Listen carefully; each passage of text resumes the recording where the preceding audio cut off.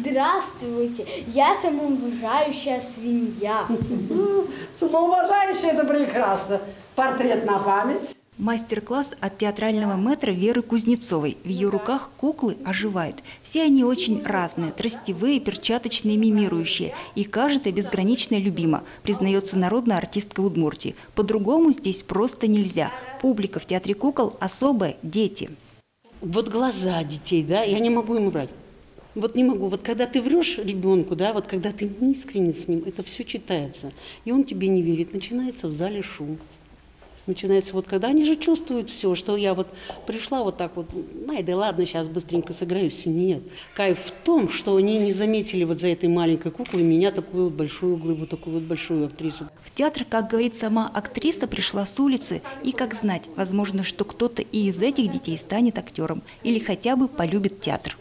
Это очень интересная тема, куклы.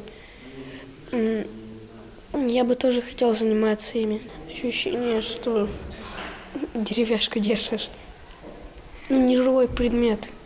А потом у некоторых людей эти неживые предметы становятся живи, живыми. Такие мастер-классы проходят в рамках проекта «Театральное Приволжье». Удмуртия уже второй раз принимает участие в окружном фестивале школьных и студенческих театров. Нынче размах получился масштабнее. Заявки на участие пришли со всех городов и районов республики. 43 коллектива, 51 спектакль поборются за победу на региональном этапе. Для меня это такой грандиозный срез того, что происходит на любительской сцене Удмуртии. И это очень здорово, потому что смотришь, там вроде бы играют дети, и художники, возможно, непрофессиональные работают над декорациями, но вдруг что-то внезапно происходит, что ты понимаешь, что даже в профессиональных театрах ты такого не увидишь. Конкуренция высокая. Сейчас комиссия отсматривает работы участников. Победителей выберут в двух возрастных группах. Кто будет представлять Удмуртию на театральном Приволжье, станет известно уже в эту пятницу. Светлана Буланова, Андрей Бусыгин. Новости.